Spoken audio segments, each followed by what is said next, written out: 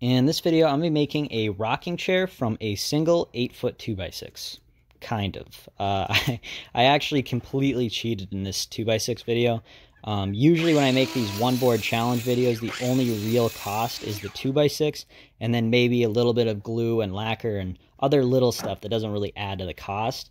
But in this one-board challenge, um, as well as the one 2x6, I'm also using a ton of rope, if you couldn't already tell from the thumbnail, and I actually greatly underestimated how much rope costs and how much I would need for this project. So this won't be as cheap and easy as the other one board challenge videos, but if you're still interested, I started by cutting two 29 inch sections from the 2x6, then I took the round over off of one side of each of them so I could glue them together into a wider board. And this wider board I just glued up is going to make the curved rockers of the chair. So I mark out an about 6 inch curve and then I cut that out at the bandsaw.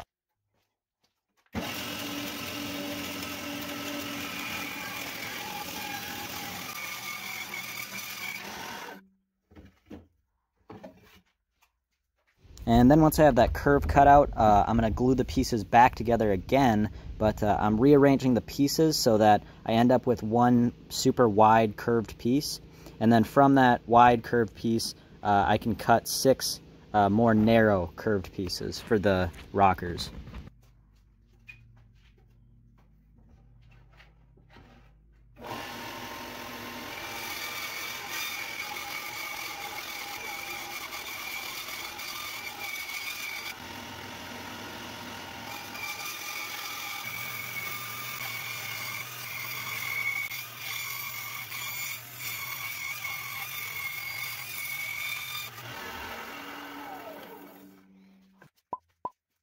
Now I'm going to use three of the curved pieces to make each of the rockers, and I'm laying these pieces out in kind of like a guitar pick shape, trying to find the right height to width ratio that I like, and then once I find that, I mark that out, and then I cut these ends at the bandsaw to miter the pieces together.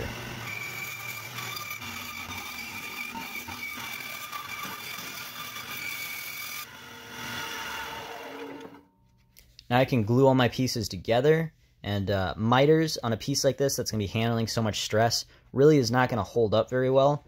So once I have these glued together, uh, I'm going to add some nails to hold it better while the glue dries, and then I'm going to cut some splines in each corner to hold it together more permanently.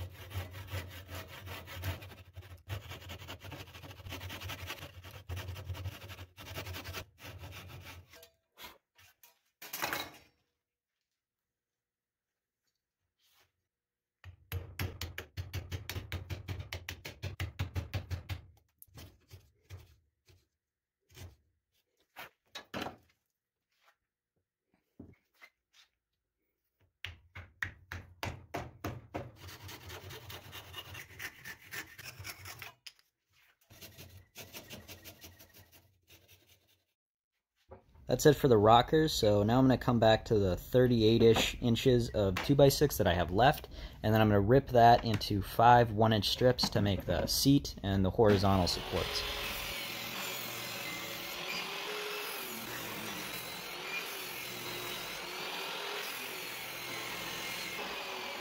I can take those five strips over to the miter saw and cut my pieces to length.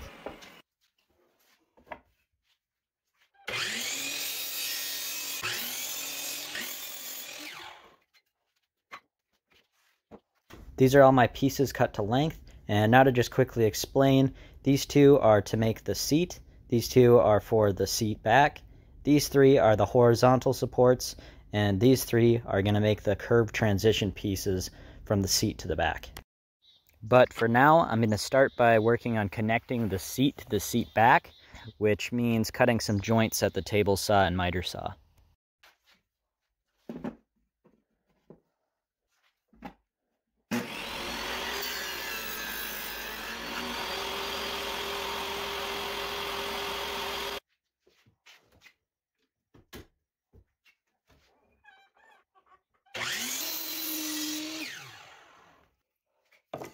Now I have all the joints cut in the seat and seat back pieces, and I want the transition from the seat to the seat back to be uh, curved.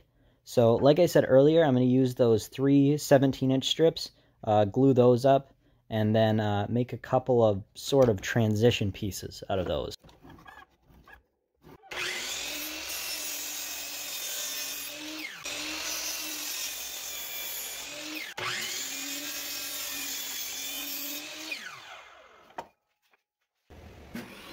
Then once I have a couple blocks cut out, I'll cut the sides to fit into the ends of the seat and seat back pieces and glue those in place.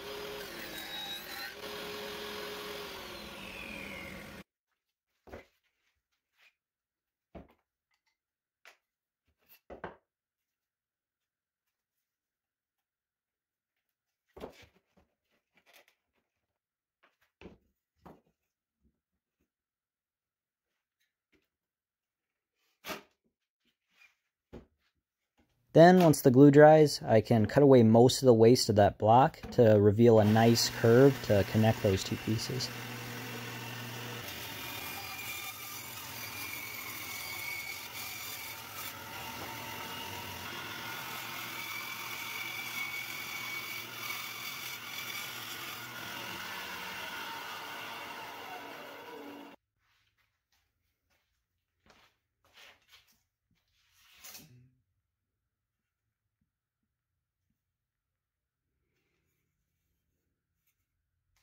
Now I have both of the sides of the seat done, but uh, now I need to connect those sides. And so I'm going to use two of those three 21-inch horizontal support pieces I was talking about earlier. And I'm going to cut some miters on both of the ends of each of those pieces so that they fit onto the seat sides.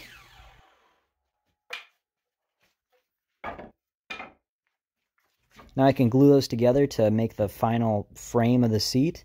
And then I'll also throw in some nails in there just to hold it while the glue dries. The last step of building the frame of this rocking chair is really just joining all the parts together. So first, I still have one more of those 21 inch pieces, and I'll use that uh, to connect the two rocker sides at the bottom. So I mark that out and then cut a joint to fit that piece.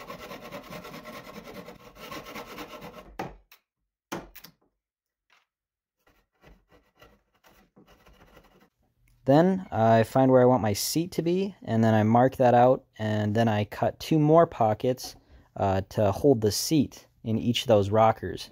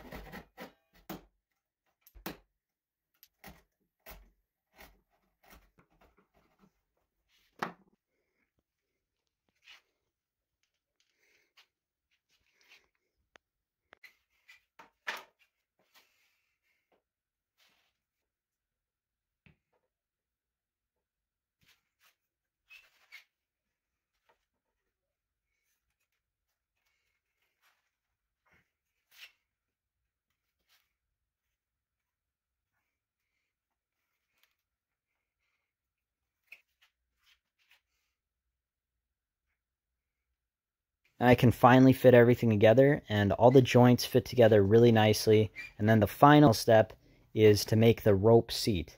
And this is actually a lot harder than I thought it would be.